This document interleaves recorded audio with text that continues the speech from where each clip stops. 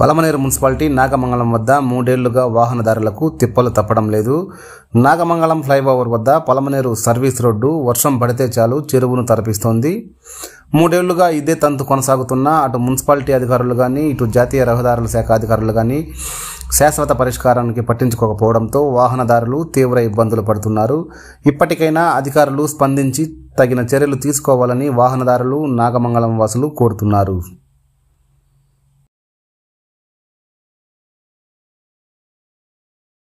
Palamaner municipality Nagamangalam వద్ద మూడేళ్ళుగా వాహనదారులకు తిప్పలు తప్పడం లేదు.